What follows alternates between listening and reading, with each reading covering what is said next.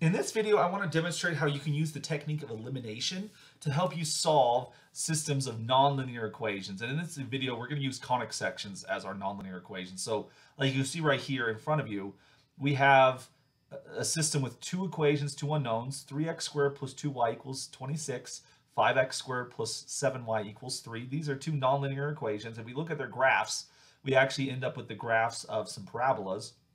So the first one is this parabola for which it's going to be concave downward. Uh, the other one also is going to be a parabola that concaves downward. We don't necessarily need to know that in order to solve it, uh, but it, it, can be helpful to have these pictures in front of you, right?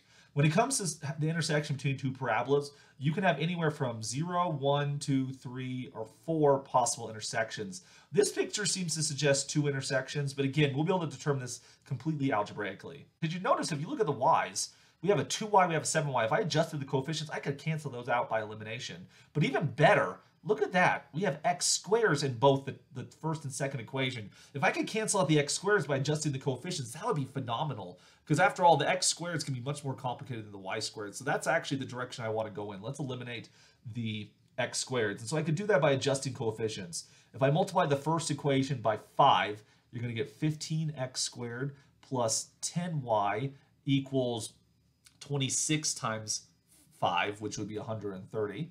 And then we're going to take the second equation and we're going to multiply it by a negative 3. So we get a negative 15y, uh, x squared, excuse me. Uh, we're times everything by negative 3, right? So I'll actually write this on the screen. So we take negative 3 times that one, and then we were doing positive 5 times the first one, like so. And so then we get negative 3 times 20, or negative 3 times 7y, which gives a negative 21y and then we get negative 3 times 3, which is a negative 9. We're then going to add together these equations, combining like terms. Now you'll notice, and this is the reason why we adjusted the coefficients the way we did, is that the, the 15x squares are going to cancel out. The reason I chose 5 and negative 3 is I was trying to construct a common multiple of coefficients for x squared, and then make sure their, their coefficients were opposite in sign, but equal in value there. Uh, so then combining the rest, we're going to end up with 10y minus 21y, which gives us a negative 11y. And then we take 130 minus 9, that's going to give you 121. For which, if we divide both sides by negative 11, like so, you end up with y equals negative 11. Uh, 121 is 11 squared, right? So we end up with 11 excuse me, y equals negative 11. Now you'll notice here that we only got one y coordinate. And when you look at the graph here, that kind of makes sense because the two points of intersection actually live on the same horizontal line. This is going to be the line y equals negative 11, right? both of these functions are actually symmetric with respect to the y-axis. And so the two intersections are going to be reflective across the y-axis right there. So we only got one y coordinate. That doesn't mean there's only one intersection. It just means the two, the two intersections actually have the same y coordinate. So how do we figure out what the x coordinates are? Well, we're going to take this y coordinate and plug it into one of the two equations. It really doesn't matter which one you do for the sake of for the sake of conversation. I'm just going to pick the first one here. So we're going to take 3x squared plus 2 times, well, y I know is negative 11 is equal to 26, right? This is a quadratic equation that we're going to try to solve. Um, it only involves x squared, so I can actually solve it just by taking square roots here. Uh, so we're going to get 3x squared minus 22 equals 26. Let's add 22 to both sides. So we get 3x squared equals 48. Let's divide both sides by 3. We're going to end up with x squared equals 16. And then take the square root of both sides. We're going to end up with x equals plus or minus 4. And so we end up with two x coordinates, which is what our picture suggests right here. We have negative 4 and positive 4. So the two points of intersection are going to be 4 comma negative 11 and negative 4 comma negative 11. And so we're able to solve this system of equations using elimination. Let's do another example. In this example, what we're going to do is we're going to take the equation x squared plus y squared equals 13. So notice right here, this is going to be a circle. Uh, this is a circle centered at the origin and its radius is the square root of 13. All right, we can, we can live with that, I suppose. Uh, the other one, x squared minus y equals 7, that's going to be a parabola. Uh, it might be a lot easier to see that if we solve for y. You get y equals uh, x squared minus 7. So notice you could use substitution here. You could substitute this in for y and go from there, which would be perfectly fine to do such a thing. I somewhat hesitate to do that here because if you plug that in there, you're going to have to take a y squared, which requires that you actually have to get x to the fourth, right? So that's a degree four polynomial. If there's some way of avoiding that, I would like to do that. And uh, that's why I actually think elimination might be a little bit friendlier of a technique in this one. Because notice if we eliminated the x squares, you'll be left with a y squared, a y, and some constants, right? That's a quadratic equation. Given the choice between x to the fourth versus y squared, ding, ding, ding, quadratic is the way we want to go. Um, but because x to the fourth is a possibility, I want you to realize that geometrically, if we start intersecting parabolas with circles, we can have up to four intersections like our picture seems to suggest right here.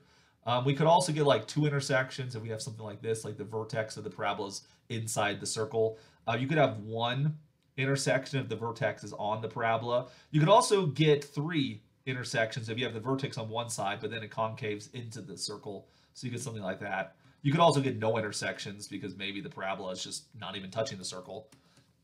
So those are geometrically we anticipate anywhere from zero to four solutions uh, but let's find them algebraically. I'm going to do this by elimination. So if you just take the second equation and you times it by negative 1, I think that'll actually do it for us here because uh, that would then give us the first equation, x squared plus y squared equals 13. And then we're going to combine that with negative x squared plus y equals negative 7.